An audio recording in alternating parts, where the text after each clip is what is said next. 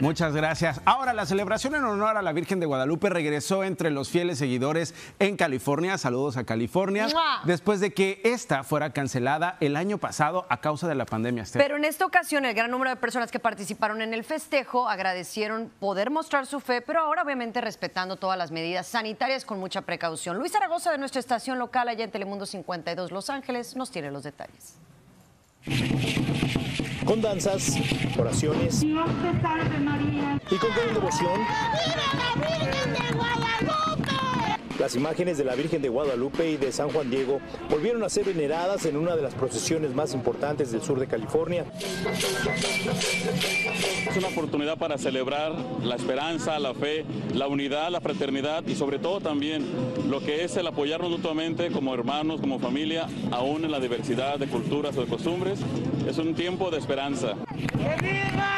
Hace un año, debido a la pandemia y por mandato del Departamento de Salud Pública del Condado, la celebración fue cancelada.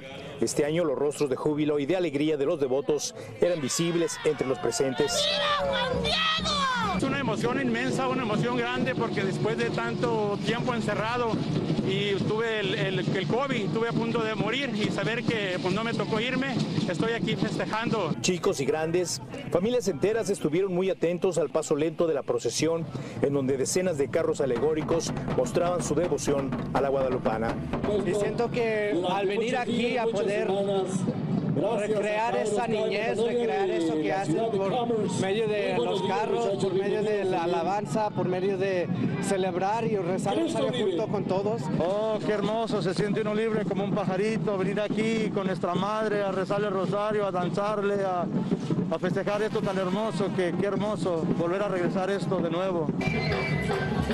Y es que más que una celebración para muchos este día fue de dar gracias por la convivencia, por la vida, por la salud y por la fe que sigue viva, aseguraron en sus corazones. Aunque a mí se me han muerto tres familias, pero yo siempre vengo a ver a la Virgen de Guadalupe. Soy devota de ella.